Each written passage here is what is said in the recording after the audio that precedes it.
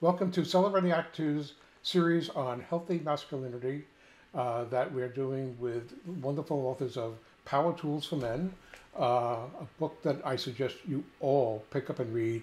Not only you, Yeah. but your and it- and it- and if your wife or your girlfriend is watching this, it's a secret on how to deal with us. How to deal with us men. Ain't easy, is it? No, Uh, it, so it always reminds me of uh, Kermit the Frog. It ain't easy being green. And the fact of the matter is that in today's society, um, there's a whole trope of uh, the phrase toxic masculinity. And ooh, that bothers me because what they're saying is men are bad and men are not bad. We know sometimes we're not the best. We have trouble accessing and expressing our feelings, but masculinity is not toxic. And the authors of Power Tools for Men um, have really put that trope to bed, uh, uh, destroyed it with this book. They've really explained um, what they've done is created the concept that we need tools to help us be real men, to access our masculinity, to not be toxic, but to be healthy men, real men. And it's a wonderful book. And the reason Art and I wanted to do uh, this eight part series is because we thought this book was important for society today, for men, certainly, uh, but also for women, anybody who loves men. Um, and so what we did is we asked the authors, Rick Broniec and Leonard Szymczak, to do these sets of videos with us, each one specializing on one of the quote eight power tools, right? Um, I think they've got another name for them, but the point is these power tools are all wonderful things for every man who wants to be the best he can be. That's my opinion. So uh, uh, we've we've invited them. This is what did you say, Art? This is number three. It's number three, the and, series? and there they are. And surprise, surprise, here's Leonard and Rick. Um, guys, I, I do you you have another name for these tools? You don't call them power. I mean, the title says power tools for men, but you have another name for them. Well, they're, they're power tools, but we are we have um, eight dimensions. So based upon the classics model, the classics is an acronym, and uh, each of these um, are dimensions. But we have a lot of power tools to help expand and help us men become healthier. Yeah, yeah. Well, uh, a great book, and of course we're up to number three uh, under the acronym Classic CLA, and you teased us in the last video. By the way, everybody should see all eight of these videos. Which will we're be, by the way, in a playlist on our YouTube channel. So uh, be Yeah. sure to go there to see them all. Yeah. So you teased us with uh, authenticity. Uh, for me, authenticity is one of those, I, I don't know what you call it, psychobabble words. I'm not sure what it means. Well, I'm a lot more sure now that I read your book. But I want you to explain it to everybody. Authenticity. Yeah, thanks. That's and thanks for having us on the the series of um, episodes on healthy masculinity. You know, authenticity. It, it's a big word, but you know, uh, you know, going back to what you were saying, John, about men. You know, we're confused now. You know, we're taught to be strong, but also gentle. We're told to be protective but not over controlling. So, what does it really mean to be authentic? Rick and I have been in a men's group, men's groups for over 35 years. We're both in a men's group. We we met each other in a men's group here in California eight years ago, and in our men's group, we really encourage each other to be authentic. And so, maybe I'm going to toss it to you, Rick. You know, when we talk about authenticity, um, what stops us as men from really being authentic? Leonard, I think the number one uh, thing that keeps us from being authentic is fear of being judged or hurt. So we put on this armor, the armor that we start very, very young, very early on in our lives. We're told to be tough, to be strong. Oh, you're not hurt. You know, be a man, that kind of thing. And we armor up. and and we're terrified of being real, of letting people see that we're hurt or that we need love or that we need anything actually from anybody. So I believe that's why we do that. Yeah, you know, you know, I when I was growing up in Chicago, uh, my father left the family the first time when I was six, and then the second time when I was nine. And I remembered I had to armor myself from feeling the pain and the fear. So uh, my father was could be a scary man, so I armored myself. Says I don't want to be uh, feel all these horrible feelings about uh, fear and sadness and anger. So I just armored myself. But over time, I didn't realize the armor uh, created a sense of being numb.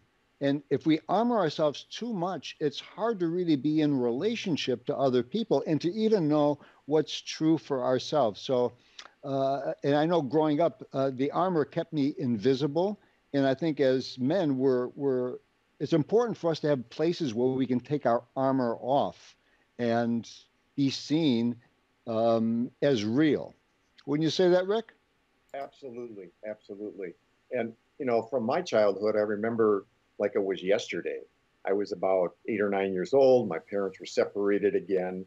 They were separated seven times through my childhood. My mom was trying to raise. At the time, there was four of us. Eventually, we had. I'm the oldest of six kids, and she lost it one day. She just got really upset and she lined us up from me, I was about seven or eight, down to my youngest sister, who was just like two years old. And she began to spank, more like beat us about something that was left on the floor. Who did that? Who left those socks on the floor? And she beat me, and then she beat my young, next younger brother, and then my next younger brother, and then my sister. And at that time, I realized she wasn't going to stop until somebody fessed up. So when she came back to me, I decided I was going to end this carnage. And I actually, I said I did it, even though I didn't, but I said I did it uh, to stop it. And uh, she beat me again as punishment for lying to her, and then made me do their, all their chores for the whole next week. But it stopped what happened. And I know I, I, I immediately armored myself. I'm going to take the hits for people in my life. And I continued to do that for a very long time to my detriment and actually to the detriment of, of the people in my life too, uh, until I started doing men's work and started peeling off that armor. You know, and for us to really be authentic, we've come up with, uh, you know, one of the tools that we have on that authenticity uh, chapter is is six building uh, tools to live more authentically. And the first one is notice our armor. And just like with you, Rick, uh, growing up, I didn't even know I had armor on. It wasn't until much later when I became a psychotherapist that I says, "Wow, I, my armor is my defenses." And I says, "Whoa, I, have got a lot of defenses and armor here." And when I work with uh, with my clients, particularly the men, I'm says, "Look at, can you feel your your armor uh, that stops others from really getting close to you?" So often when we feel well armored, we may be more isolated and lonely. So the first key is to start noticing when we are armored and defensive. And once we do that, then we can go to the next step in the process. Yeah. And, and we also notice, Leonard, that the armor protects us from things coming out, but it also keeps us from feeling things and, and, and expressing ourselves. So the first, the next step in this process, we believe, is finding a safe place to begin to peel off your armor. Sometimes that can be in a relationship if you're lucky enough to have a partner who can be uh, gentle with us and and hold space for us. But I found more powerfully to do it in a circle of men because other men could totally understand what I was going through, notice the difficulty I had in being real and peeling off my armor, and make a, uh, witness me doing that and make a safe place for that to happen. So um, you uh, you and I did an exercise once where, and I learned this from Robert Bly, one of the early progenitors of uh, men's work. We put a red ribbon around our bodies, every place where we had a wound, and had armored around it. And uh, whether it was a physical wound or a psychological wound. And when we got done with that exercise, we were in a circle of probably eight men. We were all covered in a sea of red. And it was very moving to realize how deeply wounded we all were and and together we were able to peel off those little wounds and the armor that came with them and to begin to be more real with each other. It was very powerful. And that brings us to the, the next step in the process. Yeah, you know, I, I recall that uh, exercise we did. And, you know, as men, we often don't share our wounds. You know, we keep our wounds, we keep our injuries, our hurts to ourselves. And boy, that, that takes a tremendous toll on us. You know, the next the next step in this process of li- trying to live authentically is to be accountable. And I remember working with an adolescent many years ago, and I says, "What what what happens to you when you get in trouble?" And he says, "Well, the first thing, if I get in trouble, I deny that I did it." And and he says, "Well, if that doesn't work, what do you do?" Then I then I blame somebody else. Oh, and then then what do you do? Then I try to get out of the consequences. And then only if those don't work, then okay, I got to face the music. And so for us to be accountable means, hmm, I take responsibility if I screwed up, if I uh, said something that offended somebody or did something, I take responsibility for doing that because in taking responsibility, then I can clean it up. So, you know, as you know, Rick, we, we have this process. And so if uh, we hurt somebody, uh, the other person would say, ouch. And then, ooh, I can say, oops, ooh, I didn't mean to hurt you, but thanks for letting me know. So we get feedback. So it helps me be more accountable. And then once we become more accountable, it takes us to the next step in the process. Yeah, the next step, Leonard, is what we call shadow mining. It's becoming aware of all the parts of me that I have put back into shadow. I've hide, repress, and deny as a result of that armoring up. And shadow mining means literally digging down deep in the shadows and pulling up those parts of myself that I'm ashamed of, parts of myself that I lopped off when I was younger, parts of myself that I don't want to acknowledge, and including the dark stuff, you know. And sometimes it's the gold stuff. It's my brilliance and beauty that I put into shadow because I was told very early on, you know, when I was acting like I knew something. Who do you think you are? You know, you think you're so special. And so I learned to squelch the beautiful parts of myself as well. So we have dark shadows, we have golden shadows, and it's been a lifetime work for me, and I know for you too, to uh, discover those shadows and reclaim those parts of myself that I lost, because that makes me a wholer human being and become what John mentioned in the intro uh, a complete whole man. And that brings us to our next step. Yeah, you know, the next step in trying to be authentic is to welcome feedback. And a lot of times we don't know the impact of our behavior, so we're welcoming feedback. I belong to Toastmasters, been in Toastmasters for 15 years. And after we give a speech, we have someone do an evaluation. And the evaluation is to give us feedback on how we how we did, you know, the things that worked and didn't work. Well, you know, it's important to have feedback from friends, loved ones, so that we welcome the feedback. Huh? How uh, did I do anything that upset you, or what did I do that uh, did what did I do that upset you? You know, you, we're welcoming feedback so we can improve ourselves, even be more authentic. So it's so important for us to welcome feedback, and when we do, we can move to the final step. Just being in integrity. One thing I want to say about feedback is I became aware, Leonard, and I know you've done this too, that my impact on other people is often very different than my intent. So being aware of intent versus impact has changed my life. It's really, really helped me up level my integrity. So being an integrity means two things. The definition of integrity is uh, in the dictionary is either living up to my agreements. If I say I'm going to do something, I do it. Or if, if something prevents me from doing it, I'm accountable about why I didn't do it. Okay. Or the second piece of integrity I think is equally important is I am in alignment that my thoughts, my words, my feelings, and my actions all align. So I say who I am and I am who I say. And when I do that, it creates a sense of integrity. It feels good to me. I know when I'm there, and people trust me as a result. I also know when I'm not there. And I, I notice that people don't trust me at all when I'm out of integrity. I'd like to uh, finish up this segment with a quote from Dr. Brene Brown, who did a lifetime of work on uh, authenticity. She said, We can only belong when we offer our most authentic selves, when we're embraced for who we are. And we believe that's really true. And with that, we'd like to end this session and talk about our next one coming up, which is a, a dive into spirituality. Hmm. You Well, know, guys, covered I- a lot, a lot of stuff, a lot of stuff today. Um, thank Yeah. you. Well, I don't.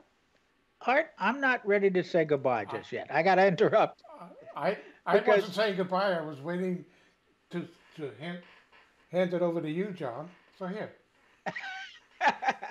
Thank you. I appreciate that. I, I just first I wanted to comment on the authenticity, um, because for me that it's always been a buzzword, but you guys have defined it in a way that makes me appreciate what I used to think of as a buzzword, and it's really the fact that we are all as men, actually all people, I think, but certainly as men, we're happier when we are our real selves. We're more lovable and we're more loving when we are our real selves without all that armor that you described.